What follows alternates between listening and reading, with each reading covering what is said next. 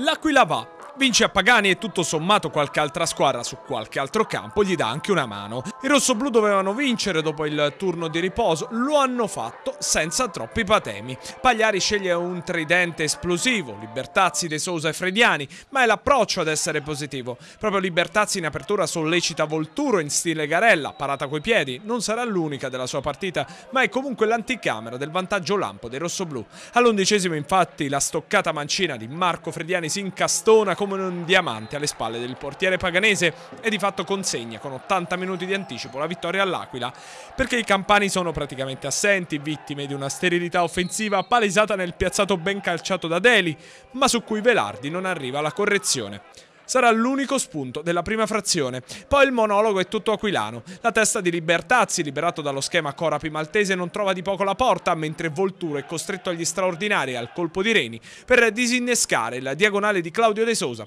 che sembra destinato in fondo al sacco. L'assedio continua, sempre Volturo con un ottimo riflesso su Maltese, prima del tap-in vincente sì, ma in fuorigioco di Dallamano, gol dunque annullato.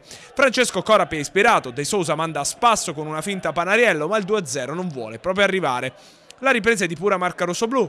Questo perché i cartellini rossi per la Paganese fioccano. Quello per Deli, ad esempio, per il fallo da Tergo su Corapi, sarà il primo di una lunga serie. Perché Velardi lo becca qualche istante dopo per proteste e la gara praticamente va in archivio.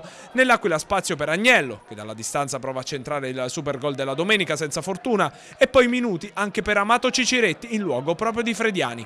Ciciretti che sfrutta un piazzato sballato di Ceccarelli e con lo stesso Agnello che si vede fermare la conclusione debole proprio da Ceccarelli in recupero difensivo. Ma la gara ha sempre meno da dire, la spaccata di Del Pinto è fuori prima del rosso anche per Marco Perrotta, doppio giallo e per il tecnico Belotti. Finisce 0-1 e l'Aquila continua la marcia da zona playoff, riprende il discorso lasciato 14 giorni fa contro il Barletta in attesa del big match di domenica al Fattori contro il Perugia.